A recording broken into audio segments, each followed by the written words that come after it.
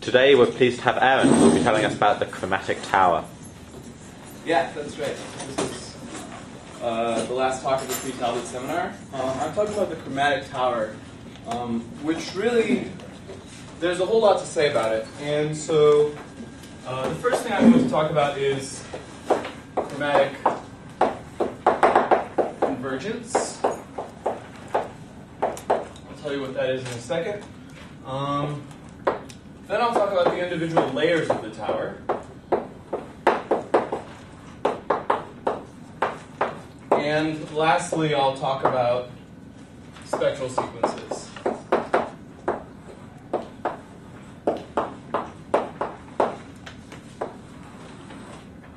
Okay. Um, so let's start. Chromatic convergence. Okay, so so um, you'll remember from David White's talk that there's this notion of Bousfield localization, and what I want to do, since we're going to be localizing with respect to it all the time, is that I'm going to just, just write ln for the localization with respect to all the Morava K theories, starting at zero and ending at n. And formal properties of Bousfield localization um, imply that there is tower of natural transformations. And of course, when you apply this to a well, to a spectrum X, this is called the chromatic tower for X. Um, and now I can tell you the chromatic convergence theorem. So this theorem is due to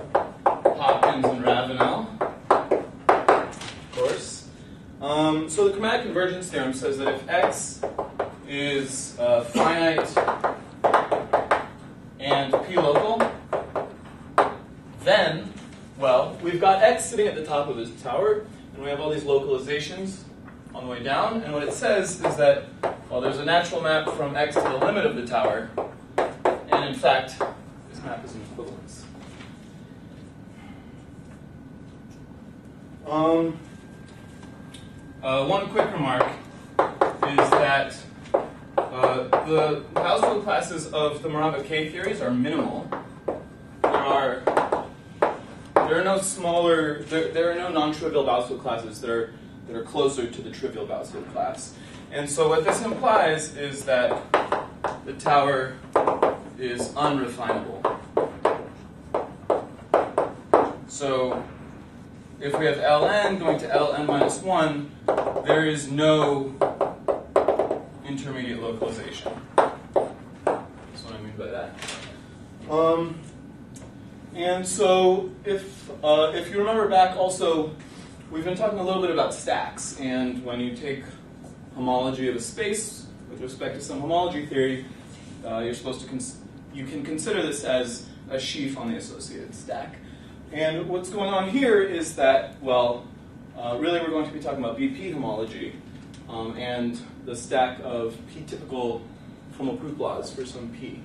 I've already chosen a random p. Um, and the idea of the chromatic convergence theorem then is that, well, if you have a sheaf on some uh, some space and you have uh, a bunch of nested open subsets inside of that space, then you can you can understand the entire sheaf based on understanding its behavior on the restrictions to these open subsets. So in this case, those open subsets are, uh, so if this is formal group laws P typical, uh, I'm talking specifically about the, the open substack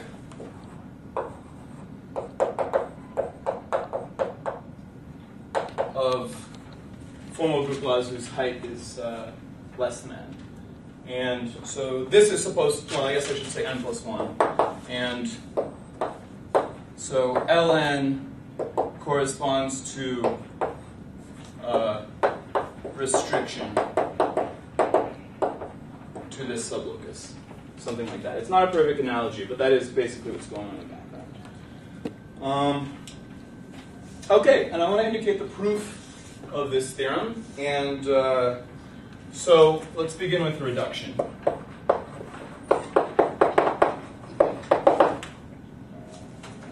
Um, it suffices to prove it uh, for the sphere, and the reason is that um,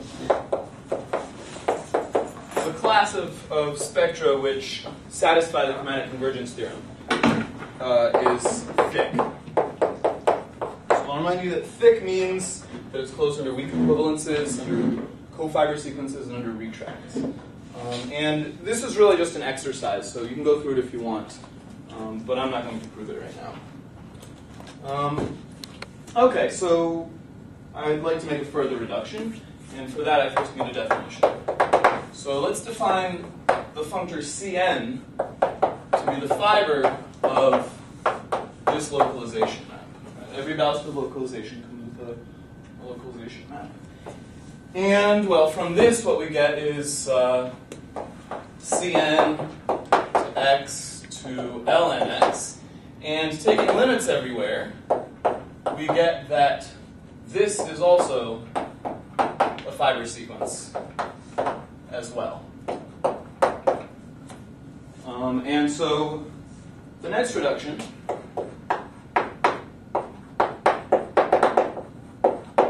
is that um, it suffices to show that for any m, well, here's a tower of here's a tower of abelian groups as n varies. Right, this is the tower associated here, um, and here's a constant tower of abelian groups. And what I claim is that it suffices to show that this is a pro-isomorphism. So, of course, that's going to imply that the uh, limit of this tower is weakly contractible, and so then this is an equivalence. So I haven't said much. Uh, yeah, I'm talking about the sphere. And I just want to point out uh, that if we have some tower, uh, being pro-trivial, that is, being equivalent to the zero tower, pro-isomorphic, is not the same thing as saying that an is zero for sufficiently large n. That's not true. And in fact, it suffices to have, um, for any n, that when you're mapping from high enough down, right, I'm just talking about towers here, but of course there are more general statements for arbitrary pro systems. When you map down from some arbitrarily high place, uh, it's zero um, for all sufficiently large s. So in fact, uh, this is what we're going to show for the tower that I claim is pro-trivial. Okay. So, in order to prove this, in turn, uh, there's another piece of input, which is the following theorem. And this is where mu actually starts to appear. So I, uh, I mean, of course, this whole story has everything to do with mu, and so mu really ought to appear in this proof. Uh, and the theorem, remember, we have this tower of the CNs, and the theorem is that if you take the mu homology of the natural map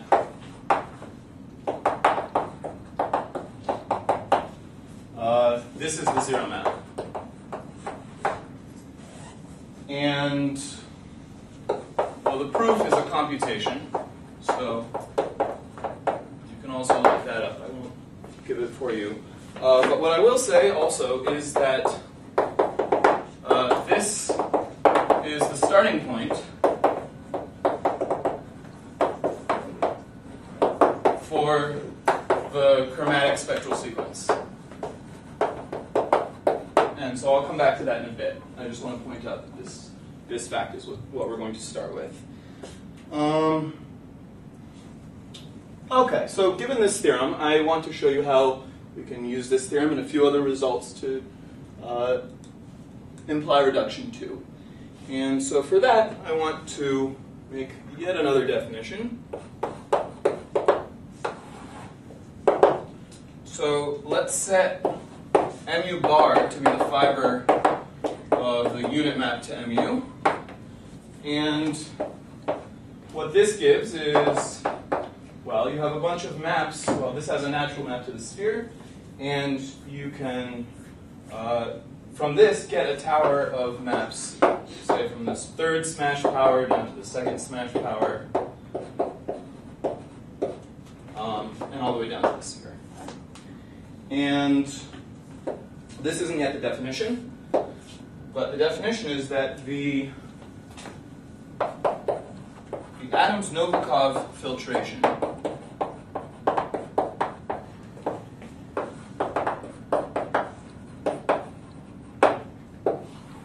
The Adams Novikov filtration on anybody's homotopy groups uh, is given by setting the s level to be the image of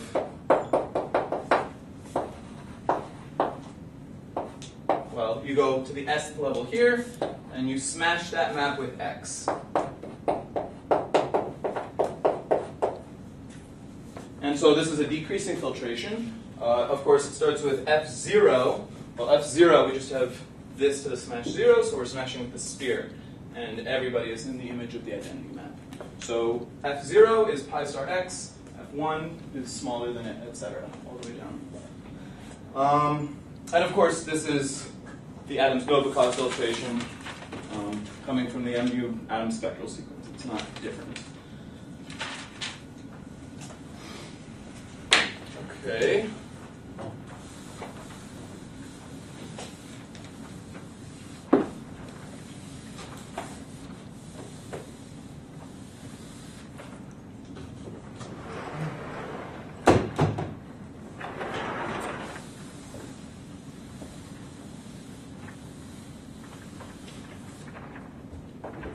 All right, so I want to use this, and here's the way that I'm going to use it, is that if you have some map and you take its mu homology,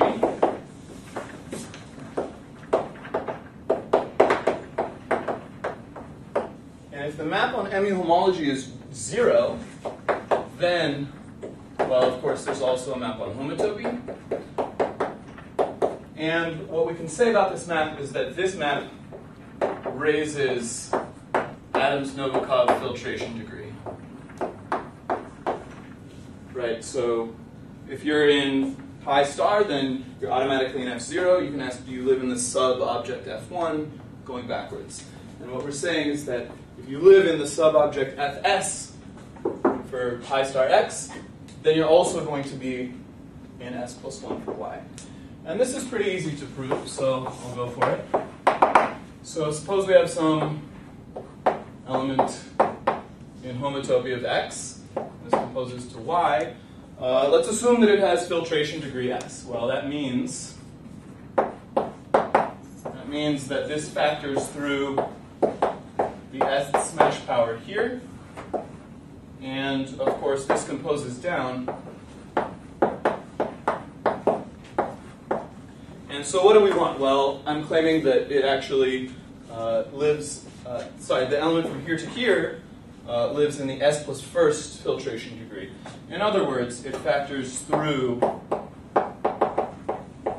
here. So I'm claiming that there exists a dotted arrow.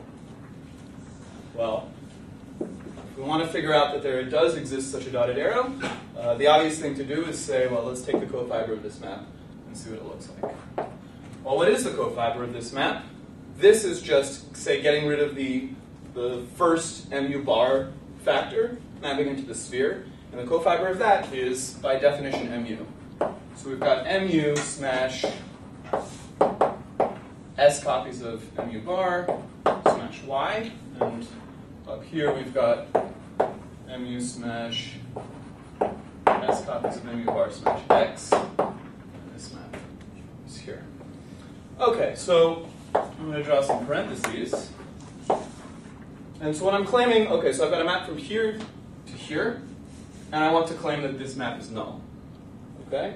And in order for this map to be null, well, I mean, because this is a commutative diagram, it also factors through here. And so what I claim uh, is that, uh, well, the important point uh, is that the MU homology, so I'm, I'm taking homotopy here, really. I'm looking at a map on homotopy. And I'm, so I'm looking at a map on the MU homology of these two things, from here to here. And the important point is that the MU homology of MU bar is free uh, as an MU star module. So this is obvious if you take the MU homology uh, of the fiber sequence defining MU bar you just look at it, and it is free. And so what this implies is that we get uh, isomorphisms. And so, well, what that means is that the MU homology applied to this map is just S copies of the identity here, tensored with the MU homology map here. And what did we assume? We assumed that that map was 0. So that proves the schema. Uh, you just showed it was zero on you didn't say that the map is null. It's a cofiber, so you can't. No, no, no. I see, I see what you're just saying. Sorry, this this map is not zero. The composition, this this element is an element in homotopy, Oh, and yeah. I yeah I showed that in. I think what I said is true because I mean you smash that is injected. So, I think Okay. it's like a Boltzmann and which makes it all work. All right. Okay, so so here's the next reduction. Uh, it suffices to show. Well, what did we just say? We said that all of these maps on MU homology of these fibers of this tower, we said that all of these were null. And so what this is saying, um, I'll give myself a little bit of space. So we have, say, pi mcn uh, plus s, and this maps to pi mcn. And, well, what this says is that this is a composition of S maps that are all zero in MU hom- homology, and therefore it raises the filtration degree by S, and so what we can definitely say is that here's the S level uh, inside of here, and factors into the S level. And so it suffices to show that um, for all m and n, uh,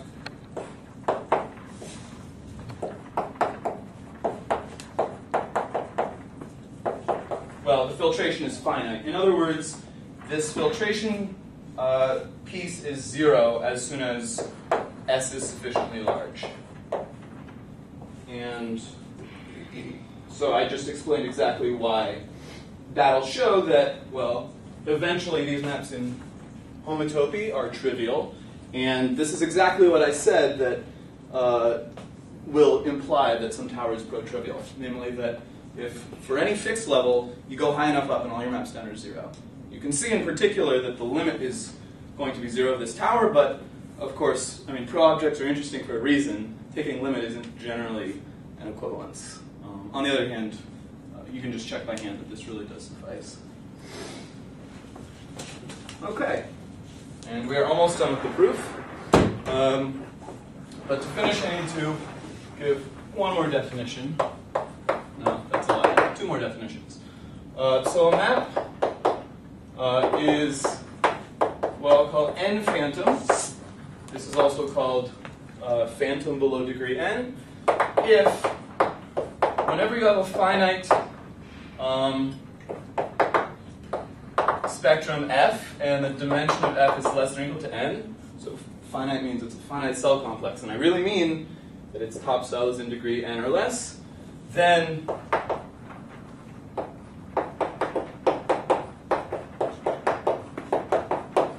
the induced map uh, on these groups from maps in from F uh, is zero. So you may recall that a phantom map means that this is true for any finite spectrum, And of course, what that means is just that to be phantom is to be phantom, to be n phantom for all n. Okay, and this is the last definition involved in this proof. Uh, so X is called mu convergent. Uh, if for all n there is some S uh, such that this map, the one that we've been talking about, is n phantom. And so what this implies is, uh, well, so as we vary S, we get a tower in homotopy groups, and of course this maps to some constant tower. And what this implies is that that map of towers is actually a pro-isomorphism. So I think that this is maybe even a stronger condition uh, than saying that the well, never mind. I don't want to say anything wrong. Um, let me give the last reduction, and then we, this one will actually be able to prove. So remember that we just reduced to saying that these filtrations are eventually zero. And these filtrations had everything to do with the maps on homotopy coming from here. And so this reduction uh, is uh, it suffices to show that, in fact, if x is connected, then uh, all right, then CNX, right, all of these guys in this tower of fibers, uh, is mu convergent for all n. And finally, this reduction follows from three facts that are each easy to show. So I'll say what these facts are, and I'll at least tell you how they get proved. Um, so the first fact is that when x is connective, then x is automatically mu convergent. And well, if you think about what's going on, well, if you, if uh, if you're connective, that means you don't have homotopy groups below degree zero, and so we're smashing with mu bar a bunch of times. Mu bar is actually connected. That is to say that it doesn't have any pi zero. Um, and so when you take this big smash product, uh, you don't have any, you know, up to equivalence, you don't have any cells uh, before dimension s minus one or something like that. And so by cellular approximation, you have no maps in from any finite spectra uh, of dimension less than or equal to s minus 1. Um, the next fact, next fact is that mu convergence uh, is thick. Thick is that same word I brought up earlier. Um, this is really just a diagram chase. And the last fact is that any uh, ln localization is mu convergent. And this is the hairiest of the three. This one actually involves uh, the smash product theorem. Um, and I don't really want to get into it too much, but um, so I won't. Uh, so okay, so let's see why this implies reduction 4. We just want to show that all of these CNXs are mu convergent. Well, really, we just care about the p-local sphere. So the p-local sphere is connective and hence mu convergent. And so any ln of it is also mu convergent. And then by thickness, Cn of it is also mu convergent. And that's exactly what we wanted to show right there. And so that's it. That's the proof in broad sketches of the chromatic convergence theorem. Are there any questions?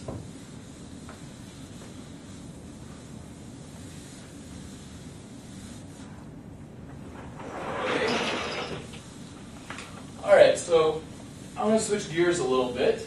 Um, we've been talking about this tower, and um, this is a really great fact that you can understand finite spectra based on their ln localizations for all these variates at n. Um, and if you think about it, actually, well, L0 is just rationalization. Um, and so you can think of the rational stable category as some zeroth order approximation to the actual stable category, um, in the sense that spectra are created from, you know, sphere like cells and disks, uh, and those are glued together using homotopy groups. But rationally, uh, the only homotopy groups of spheres are in pi zero. Um, so it's in that sense that I mean it's a zeroth degree approximation. Um, and so I want to, well, of course, if we want to understand the stable category, uh, we want to understand the layer by layer picture, and want to understand how they fuse together. And so, how do they fuse together? Well, the first thing is there's this thing called the chromatic fracture square. And the chromatic fracture square, says, is that um, let's have for any x, uh, right? This is a map in the tower, and this maps out to here. This maps out to here. And what chromatic fracture says that this is a pullback. Um, and of course, these are all functors. Everything is natural.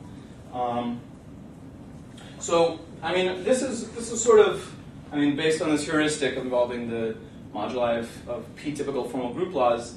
Uh, this is sort of like a Mayer-Vietoris principle. So this has to do with um, restricting your sheaf to the the locus of height less than n plus one.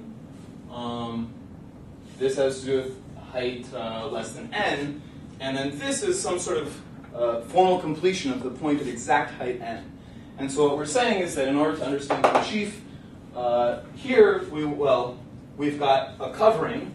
Uh, those those two things that I just mentioned are, are covering, and then there's some gluing data, and that's what I mean when I say Mayer-Vietoris. Um, okay, so then another thing, relatedly, well, so like I said, this thing is is all uh, totally natural uh, in the sense that those are all functors, and so we have this sort of converse. And what the converse says is, well, I actually want to state the converse uh, categorically. So, what the converse says, so the script S is going to denote the stable category, and what the converse says is that, well, if you take anybody here, here, and here, uh, throwing this away for a second, um, it's really not hard to check that uh, the pullback is going to be ln local again. And so what this is saying is that you can actually, well, so the important thing is that we have an arrow here of ln minus 1 local objects. And so one important thing is that arrow. Um, but then, of course, this needs to have a map from here. And so, well, what we care about is the target of that arrow. So the target of such an arrow lives in Ln minus 1. And then, of course, we need this object here. And so this is LKM of the stable category. And this maps down here via this localization. And the converse is that there's also this map, and that this is actually a pullback. So this is a categorical statement uh, of chromatic fracture. Um, and again, everything is sufficiently natural that this is actually at the level of infinite categories. Um, and so by by chromatic convergence, um, well, we have the finite p local stable category, and this has a map to the limit of the ln localizations of itself. And in fact, you'd be tempted to say that this is an equivalence. And well, what we can definitely say is that it's fully faithful. Um, that's that's the statement of chromatic convergence. Uh, I wasn't able to see uh, if how I could prove there might be essentially surjective. So I'll just put that with a bunch of question marks.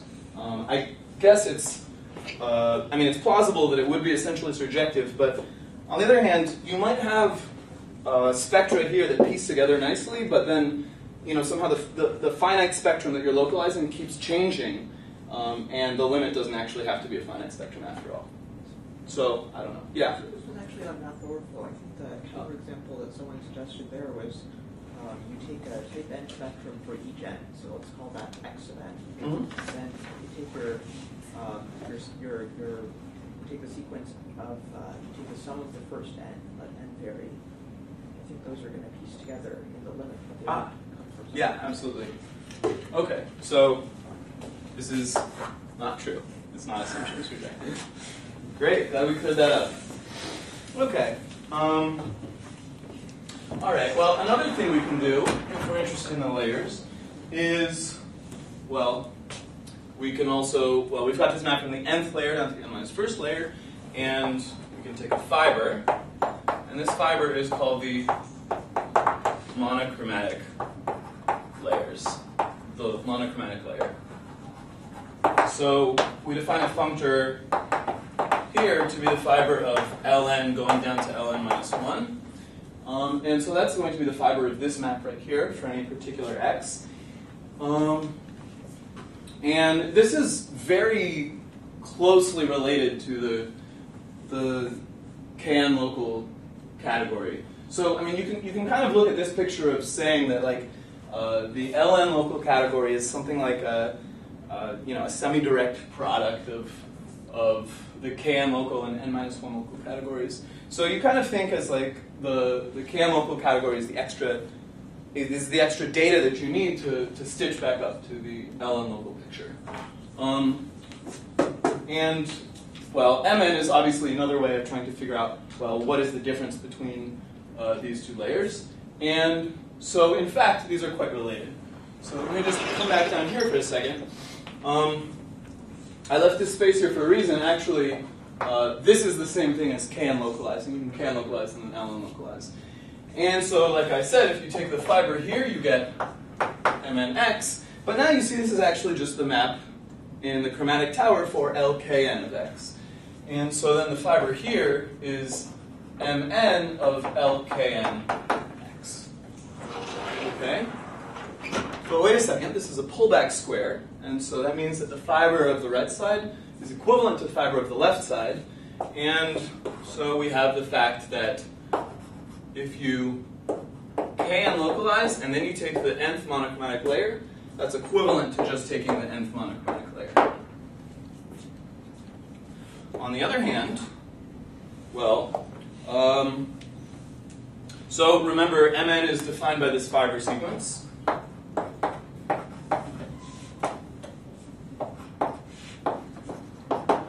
And Gauss localization preserves fiber sequences. So let me apply LKN everywhere. LKN, LKN.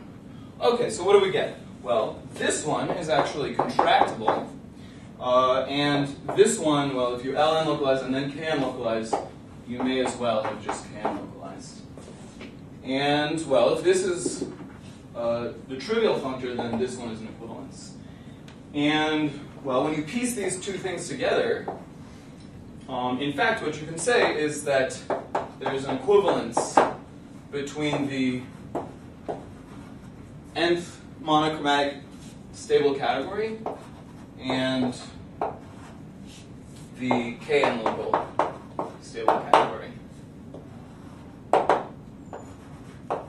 And in fact, with a little bit of fussing, I think you can show that this is even a monoidal equivalence. Um, but I'm not sure, so I won't write that down. So the monoidal structure on Mn would that just be ordinary smash product? Uh, yeah, yeah, yeah. Well, so um, on any on any of these like localized I should say, MN uh, is not actually a localization. Uh, it doesn't even have a natural transformation from the identity. Um, but it's smashing um, because it's the fiber of two smashing functors. And so, yes, you can define the smash product here to be just the ordinary smash product. Uh, over here, well, this you often think of as a subcategory of the full stable category. When you smash the other two k-local spectra, you don't necessarily get a k-local spectrum back. Um, and so what you do, well, if you want to define a smash product from this, then you just re k localize. Um, but I do think that if you just mess around with things, you, you get monoequivalence. If you get bored, you can try to you can try to write it down. What, what did you mean when you said MN is smashed? Uh, well, Mn is a functor, Yeah. and if you have any spectrum x, you want to figure out what's Mn of x. It's Mn of the sphere Oh, oh, smash yeah, yeah.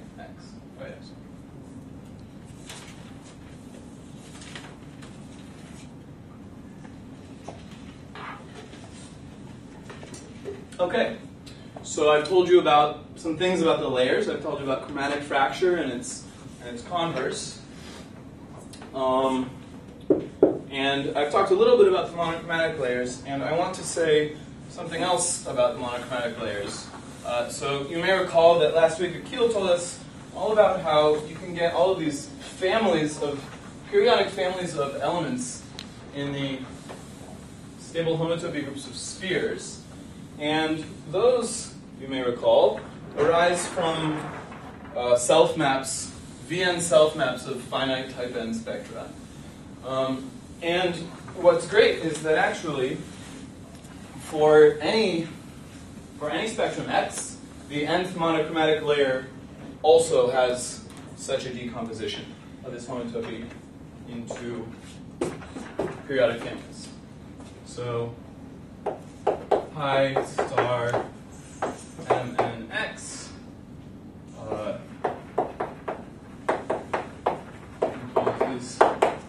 into periodic families. Okay, so how does this work? Well, okay, so uh, I'm going to write I uh, for a sequence of n indices. Um, and then for, well, not for all i, this is one of these hairy issues surrounding questions of the existence of Smith-Toda complexes, but for a cofinal set of i, uh, there exists uh, what people tend to call generalized generalized Moore spectra.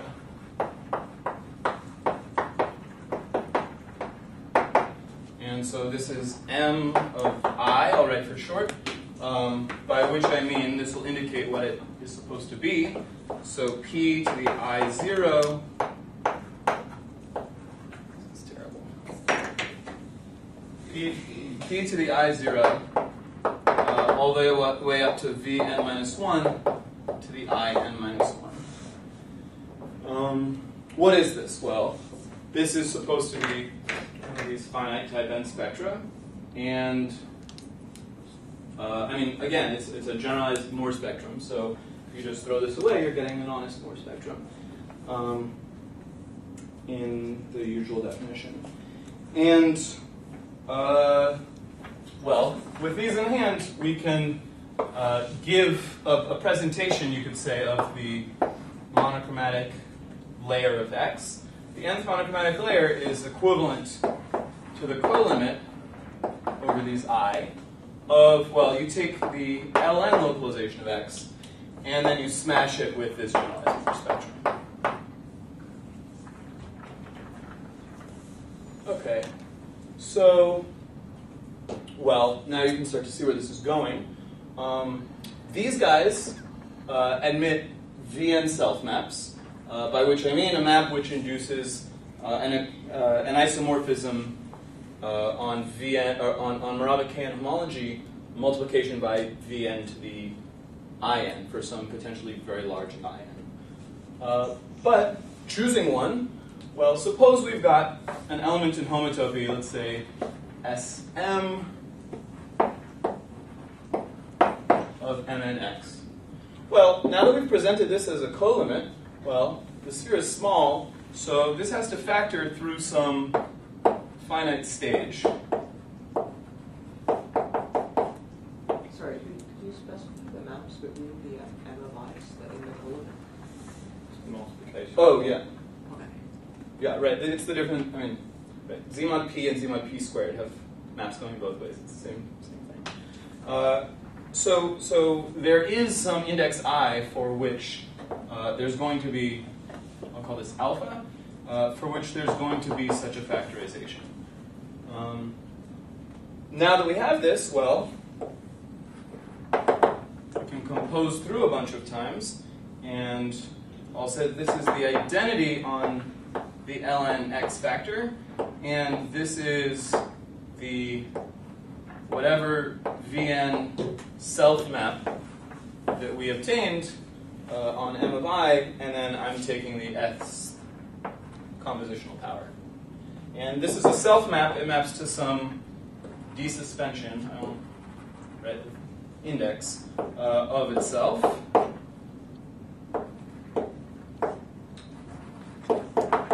And then we can re-include this back into MNX. Okay. Um, so in fact, it turns out that this map, uh, this map is an equivalence, and you can you can check that because uh, you can check that this is, well, uh, so this is this is ln local, and this is finite type n, and it turns out when you smash those guys, you get something which is kn local. Uh, now I just told you that each of these maps is a kn equivalence, so kn equivalence of local spectra is an equivalence. Um, and so what is this bias? Well, this gives us uh, elements alpha sub, I want to call it s times i sub n, in the, I can tell you the index, it's m plus s times in times the size of vn, homotopy group of mnx. Uh, and of course, alpha 0 is just alpha, right? We don't do any of these. The same inclusion. Um, and so we get these periodic families. Uh, now, of course, we made a bunch of choices here, right? Like we chose which m of i's to use. Um, we chose which vn self map to take.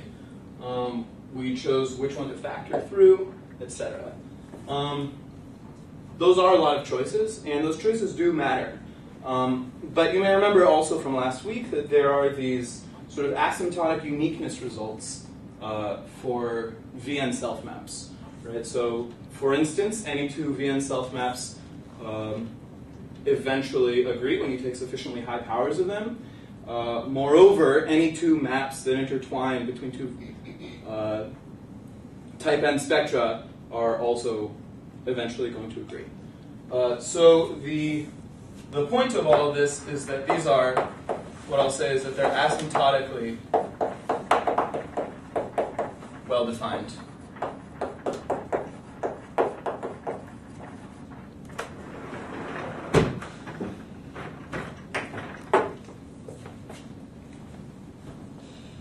Okay. Now I want to talk a little bit about spectral sequences. Um, there are really a lot of spectral sequences running around in this story. Um, and so I'll try to give some idea of how they relate. Uh, the first one is the chromatic spectral sequence. And so I'll talk about that first.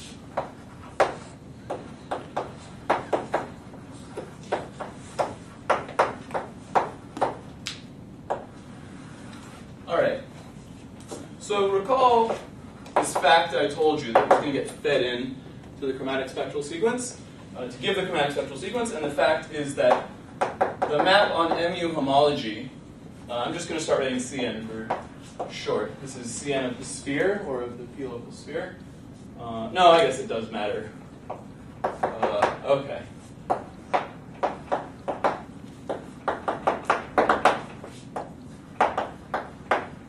Okay, so recall this is this is the statement that went into proving chromatic convergence, and uh, there's this additional fact. So I have, uh, well, so you'll remember how we defined CN.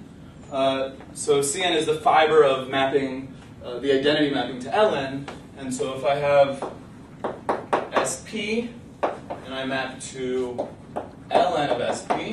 I'm actually just going to rotate this a little bit. Uh, so I've got the suspension of Cn SP.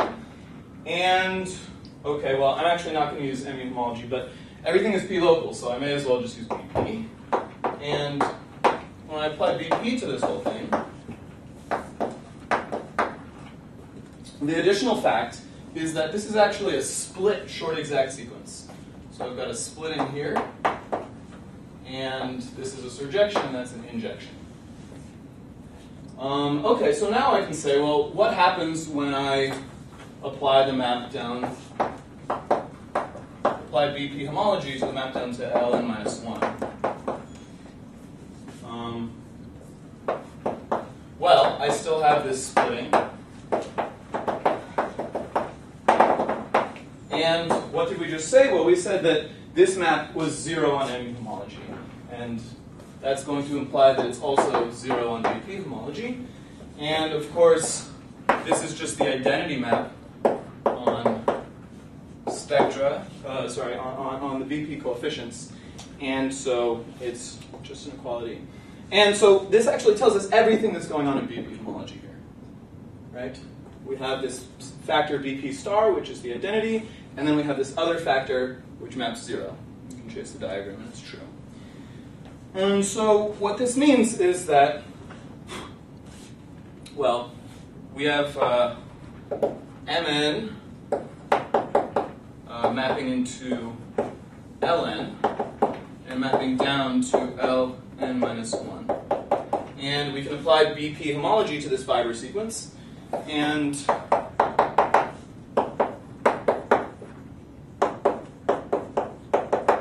well, what I would like, okay, so we also have this map. This is a minus one shift, uh, right? This is the long exact sequence. Um, but what we just observed is that besides this, this uh, piece of coefficients, this map is zero. So what I want to do is I'm going to write reduced, uh, even though that isn't technically right. But the point is that when I, when I write this here, well, these pieces kill each other off anyways. Nothing's changing up here. And what I get then is that this is zero. In other words, these long exact sequences, when I throw away these factors, are splitting up into short exact sequences. And this is true for all n. So wait, is, it, is this splitting natural? Because like in interactive channel, if you have a splitting, like can't you not deduce things about the middle map? Oh, that's a good point. Uh, what was the question? Uh, is, Is the splitting natural? Um, well, I mean, considering that it's true for all n, it's probably pretty natural. I don't remember the proof well enough. Okay, okay. Um, it is true in any case that this map is zero once you throw away the coefficients. And so now I have all these short exact sequences, and right, like this guy goes down, and we have n minus one here, and these things all just barely touch each other, and we know what to do when we see that. So we have all these short exact sequences, um, and so let's apply. Well, I'm going to write it as cohomology, but this is in BP star BP comodule, so really I'm talking about X here. And so when I apply, I can write that. When I apply cohomology, I get a bunch of long exact sequences, which also touch each other. And the way I'm going to write this out is as an exact couple. Hij of the so-called reduced BP homology of Ln, uh, mapping to a copy of itself.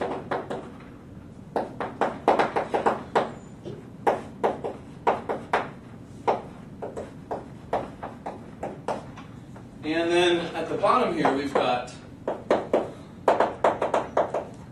the guy in the middle. So this is the cohomology of the BP homology of Mn of the sphere. All right. So, I mean, these all shift the i, j, and n. This is a trigraded spectral sequence. These maps all shift the i, j, and n just a bit. Um, but I'm not going to write that down. You can figure it out yourself if you'd like. Uh, but just in terms of the big picture story here, I want to tell you what this gives. So what this is giving us is that if we have this homology of the BP homology of the nth monochromatic layer, well, this this is the E1 page of what's called the chromatic spectral sequence. Okay? What does the chromatic spectral sequence converge to? Well, I actually lied slightly. At the very bottom, you have to do some you have to do some tricks. Uh, uh, but when, at the end of the day, this actually ends up being a resolution of BP star itself. And so, what this converges to is actually the cohomology of BP star. Okay. Well, what is this? This is nothing but the E2 term of the Adams-Novikov spectral sequence for the sphere. And what does this converge to? Well, this is supposed to converge to the homotopy groups of spheres. Okay. Now, this is not the only thing you could have expected to do. Um, there's another way you can try to get at this. Well, remember, chromatic convergence tells us that the, the, the tower of, uh, the, the, the limit of the tower um, is just the sphere, and so we could expect that maybe we would just take, take homotopy groups uh, of the chromatic tower, and we would get a, an exact couple and, an, and a spectral sequence that way. Um, this ought to be called the chromatic spectral sequence, but it isn't. So I'm going to call this instead the topological chromatic spectral sequence, and it converges here. And to con- I'll call this one the algebraic chromatic spectral sequence. What does this come from? Well, it's E1 page. You just look at what we've got. Its E1 page is the homotopy groups of the monochromatic layers. How can we get those? Well, we can get those from another Adams spectral sequence uh, for Mn. And how do we get this? Well, the input to this is just x of the BP homology. In other words, this is the same piece of info that's going down here. So this is the E2 page. All right. So this is this is a picture which sort of relates these two uh, paths from this relatively computable data all the way down to the homotopy groups of spheres. Um, but in fact, it's even better than that. So I'm going to define uh, this BP star BP comodule, uh, MRS. This is just for notation. This is VR plus S inverse of the BP coefficients. So then you kill off the first R of them directly, VR minus 1. Um, but then additionally, you kill off VR to the infinity all the way up to VR plus S minus 1 to the infinity. So there's R of them here and there's S of them here. And this is how you get MRS. And in fact, this thing is nothing but the cohomology of M 0n. All right, so we might ask, how do we get at this? And, well, if you look at this MRS for a second, you can see that they're all related to each other. You could say kill off VR directly instead of just modding by VR to the infinity. And what you get is that there's actually this. Um, so M R plus 1 S minus 1 is exactly MRS, but then you kill VR. Okay? Now, we could have, instead of killing VR, we could kill VR squared. And the cofiber of this, if you work it out, is actually just MRS again. And the colimit, well, this is actually the defining thing to get uh, this guy, MRS, mod VR to the infinity. In other words, MRS itself. Okay. So using this, there's actually, well, uh, these are short exact sequences, they all piece together, and uh, using this, Did you, Uh, we sorry, actually- did you index the cofiber right? Should it be S minus 1 or plus 1? uh, yeah, thank you. S minus 1. Okay, and using this, we have all sorts of Bockstein spectral sequences. And the way that they run is that I'll call, I've got, well, so this is really times VR. And so I've got this, what I'll call the V0 Bockstein spectral sequence. And what does that come from? Well, the E1 page, the E1 page of this one is uh, the cohomology. I'm, I'm trading off these two indices. So M1 up to N minus 1. Okay. And if I want to get to this thing, well, obviously, I've got the same story. So I can go all the way back, and at the very top, I've got a Vn minus 1 Bockstein spectral sequence.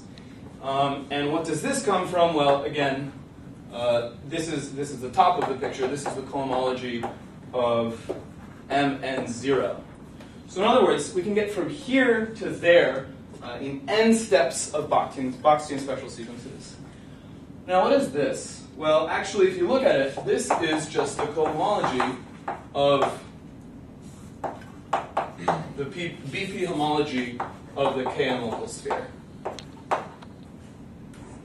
What spectral sequence does this fit into? Well, this just starts off the Adams Novikov spectral sequence for the KM local sphere, and this converges to the homotopy groups of the KM local sphere. There's even more. Uh, this is often cited as uh, the Morava change of rings theorem uh, to be the same thing as the cohomology of the Morava stabilizer group uh, with these coefficients, Morava E theory coefficients. And, well, so the Morava change of rings theorem is telling you about changes of rings. Uh, so you can change to Morava E theory, and then this is really just when you kind of interpret it algebra geometrically in terms of stacks. And so this is the Morava change of rings theorem. Now, this actually comes, uh, Devinatz Hopkins proved that the Kn local sphere is actually the fixed points of Morava En against this stabilizer group. And so, in other words, there's a homotopy fixed point spectral sequence for the fact that these are the fixed points, and that converges to these same homotopy groups. In fact, these are the same spectral sequence. That's almost it. Um, but going from here, well, in fact, there are even, I guess I want to write it. Yeah, so here there are uh, n Bockstein spectral sequences. And what you can converge to is the, the cohomology, instead of the Morava stabilizer group in just the En star coefficients, uh, we can take En star mod p to the infinity, all these different guys to the infinity, and this guy converges. Uh, uh, this is again the Morava change of rings theorem. This converges relatedly. Instead of the Kn local sphere, it's the monochromatic sphere. All right, so we've got n Bockstein spectral sequences running from here to here, and well, once again, we can use Morava change of rings theorem and algebraic geometry. So unfortunately, I've run out of board, but actually that's okay because we end up all the way back where we started. all right, that's all I've got. Thanks a lot.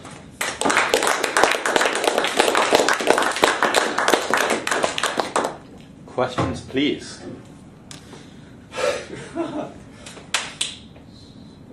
Um, how much is this little square going to be used to like do good things?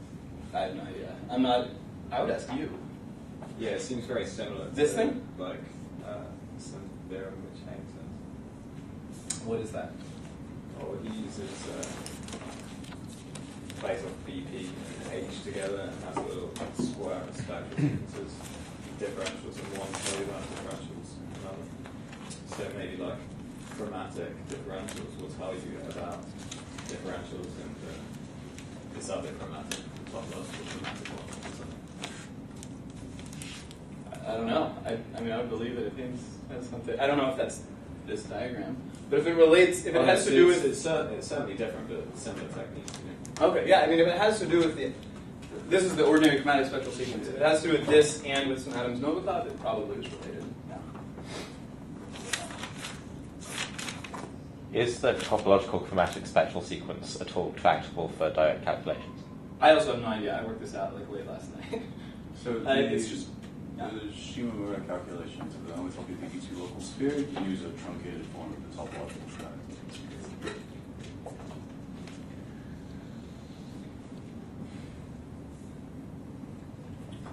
So uh, here, when you take that component, um, that's kind of doing uh, p infinity up to d minus one infinity.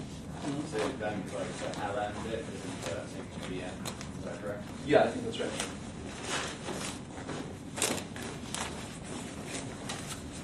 Yeah, I'm not sure. I mean, where, where I read this, there was not a reference given, meaning it's just so well known. Yeah. That, that's the identification there, right? That's good. Which is? I mean, Oh, the- these the things. homology of n zero sub n, like it's Yeah. coming down to that fact.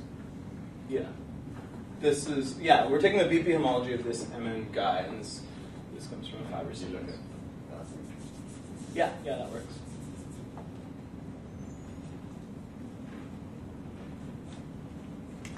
Let's thank Owen again.